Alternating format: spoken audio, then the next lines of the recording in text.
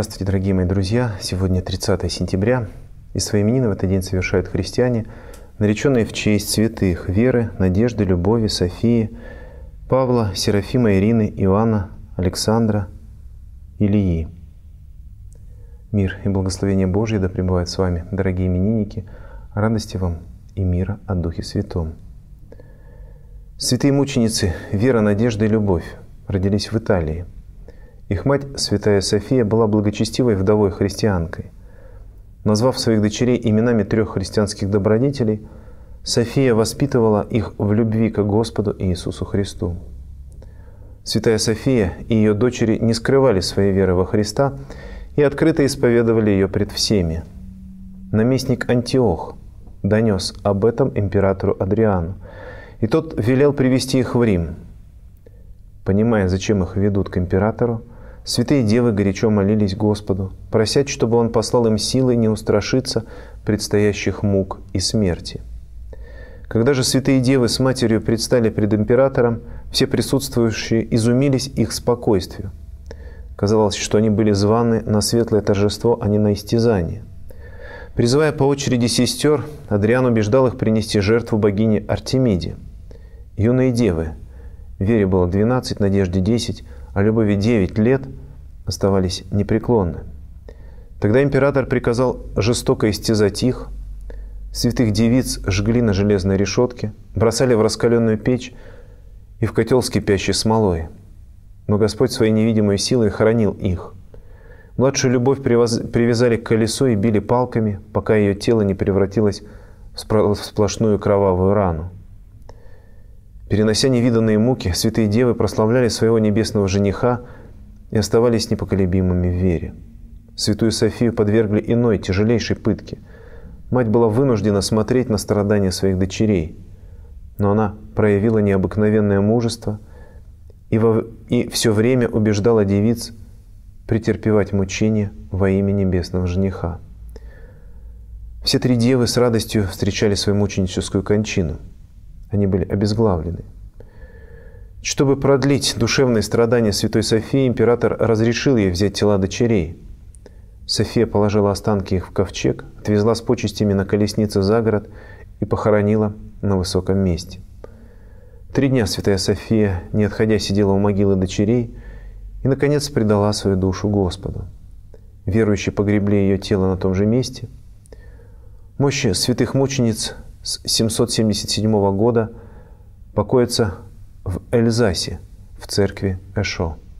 Каждый человек, приходящий в этот мир, имеет явное или тайное желание быть счастливым. Человек создан для счастья, точнее даже для блаженства, для вечного блаженства. И земная жизнь или счастье в земной жизни зависит от многих факторов, но одним из основных является семья и жизнь человека в семье. Потому что жить без любви невыносимо. Человек, собственно говоря, живет любовью, энергией любви, которую отдает и получает от родных и близких. И в первую очередь, конечно, получает от Бога. Но научиться любви можно только в семье. А для этого нужно знать, как создавать семью. Это основной и главный предмет, который должен быть в школьной программе. У нас много говорится на английском языке, много всевозможных предметов которые, ну, скорее всего, никогда не пригодятся человеку в жизни, потому что он выберет узкую специальность, сдаст три экзамена, математику, русский и физику, закончит какой-нибудь строительный факультет и никогда, может быть, и не вспомнит ни про химические опыты, ни про ботанику с какими-то знаниями растений. И будет спокойно, неплохо себя чувствовать. Но с вопросами в сфере семейных отношений он столкнется обязательно. Столкнется неизбежно, и от того, как он их будет решать, собственно, будет и будет зависеть его счастливая или несчастная жизнь. К сожалению, то, что мы видим и слышим об отношениях между мужчиной и женщиной в средствах массовой информации, в основном сплетни, ложь, дезинформация и явный разврат, извращение понятий истины. То, что мы часто видим в собственных семьях, к сожалению, тоже далеко не удовлетворительный пример. Ну, поскольку семьи строят отношения по тому, как им показывают по телевизору. А молодой человек или девушка, они обязательно должны знать, каким образом создавать семью. Ну, из тех семейных институтов, которые об этом беспокоятся, только на самом деле в церкви сохранилась вот такая история произошла с одним молодым человеком. Дмитрий, молодой православный бизнесмен, считался на своем приходе завидным женихом, но невесту выбирал долго. Венчаться он собрался только в 35 лет. Уже здесь ну, кроется определенная ошибка, ну, потому что все нужно делать вовремя. Вот и есть время для создания семьи, а так можно простоять на берегу, как Паисий Святогорец говорил, двое человек. Встали на берегу реки, пошел дождь, и один рванулся в реку, тот говорит, куда? Говорит, не на другой берег. И быстренько преодолел. А умный, размышляющий о том, что сейчас нужно все взвесить, переждать, он так и остался. Река разлилась, и он остался в одиночестве на берегу. Поэтому в каком-то смысле требуется определенная доля безрассудства, решимости, точнее сказать, при создании семьи, но не безголовости.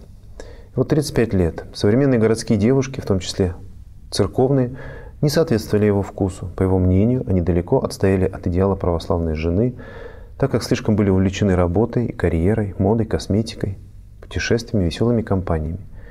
Мечтал он о тихой скромнице, похожей на Настеньку из детской сказки «Морозко». В поисках чистой, неиспорченной городской суетой невесты Дмитрий объездил на своем джипе немало глухих уголков России и в одной из пустеющих деревень встретил ее, девушку своей будущей мечты, с русой косой до пояса. Да еще и ситуация знакомства была романтической. Настеньку пришлось спасать от двух приставших к ней около клуба пьяных местных хулиганов. Дмитрий был счастлив. Уж теперь-то ему гарантирована семья в соответствии с его идеалом. Смиренная жена домохозяйка, детки мало-мало меньше, дома порядок и уют, главе семейства от всех почет и уважение. Но вступив в законный брак и освоившись в московской квартире, молодая жена все увереннее начала показывать свой характер. В свои 18 лет она оказалась гораздо более сильной боевой личностью, чем супруг. Ну, понятно, что в деревне, ближе к природе, человек как-то более собран, энергичен. Через год, через год Настенька в кавычках родила сына и, гуляя с коляской около элитного дома, постепенно начала втягиваться в круг его жильцов, знакомиться с принятыми в их кругах стандартными правилами жизни. Сначала она потребовала от мужа шубу, не хуже, чем у других соседок. За шубой последовали второй автомобиль лично для себя, обязательно маленький и красный, абонемент в фитнес-клуб, процедуры в салонах красоты, отдых на Мальдивах, ведь все нормальные люди проводят там отпуск. Мечты Дмитрия о многодетности не осуществились. Настенька заявила, что не собирается пока рожать второго ребенка, а лучше получит высшее экономическое образование. Дмитрий пытался проводить с женой воспитательную работу, тоннами скупал и выкладывал на ее косметический столик литературу о том, какой должна быть православная жена, приглашал домой для беседы знакомых священников, приводил в пример знакомые многодетные семьи, но Настенька к вере, церкви и православным представлениям о жизни оставалась абсолютно равнодушна.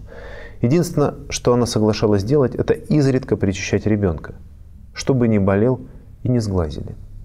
Когда у мужа лопнуло терпение, он пригрозил Настеньке разводом, в том случае, если она не, научит, не научится соответствовать его православному идеалу кроткой смиренной жены домохозяйки. Она собрала вещи в свою маленькую красную машинку и уехала с сыном в деревню к маме. А через некоторое время вернулась оттуда назад к своей привычной московской элитной жизни, но уже не к Дмитрию, а к другому состоятельному мужчине. Через три месяца после развода Дмитрий снова сел за руль джипа, поехал по малым городам и весям в поиске подлинно благочестивой невесты.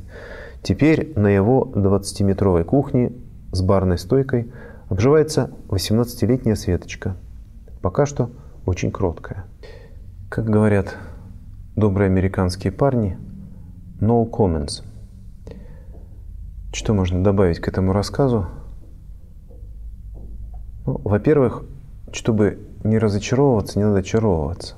О жизни вообще не надо мечтать. Нельзя себе строить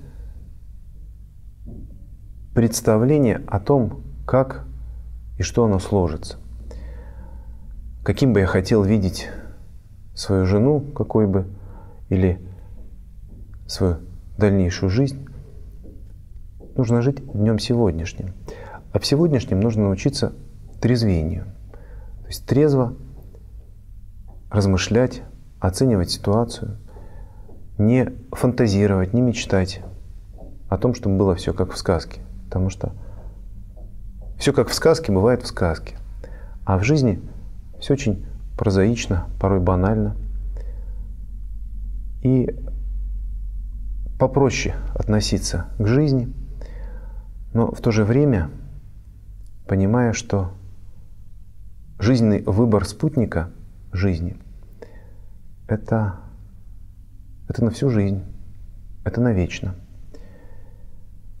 О том, как быть, чтобы не сделать ошибки в таких важнейших шагах, об этом очень здраво, интересно рассуждает священник Илья Шугаев в своей книге «Один раз и на всю жизнь». Потому что, слава Богу, бывают такие семьи, в которых один раз и на всю жизнь. И всю жизнь живут и в радости, и в горести, и в болезни, и в здравии. Рожают, воспитывают деток, преодолевают трудности, учатся терпению, смирению. Один раз и на всю жизнь. Для тех, кто интересуется, почитайте, посмотрите. Ну так, лучше на берегу. Не постфактум пытаться исправить, а заранее, пока еще в юности, пока еще не начались опыты проб и ошибок. Хорошая, здравая книга, хорошие советы, но в любом случае это остается инструкцией. Всегда в жизни нужно не забывать про голову и про сердце. Всегда думать. Не ходить прямыми углами, потому что всегда бывают разные условия и разные нюансы. Но тем не менее, общие правила, как закон, как заповеди, их нужно знать и понимать. Величайшая наука устроения семьи. Дай Бог, чтобы ошибок в ней было меньше, потому что слишком тяжелы и скорбны бывают ошибки на этом пути. Помогай нам всем, Господь.